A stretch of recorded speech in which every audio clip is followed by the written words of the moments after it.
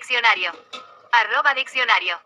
Ecuménico es un término que se refiere a un enfoque o actitud que busca la unidad y el entendimiento entre diferentes tradiciones religiosas, especialmente dentro del cristianismo, aunque también puede aplicarse a otras religiones. Este concepto aboga por el diálogo interreligioso y la cooperación entre diversas comunidades de fe, promoviendo la tolerancia y el respeto mutuo en la búsqueda de valores y principios comunes.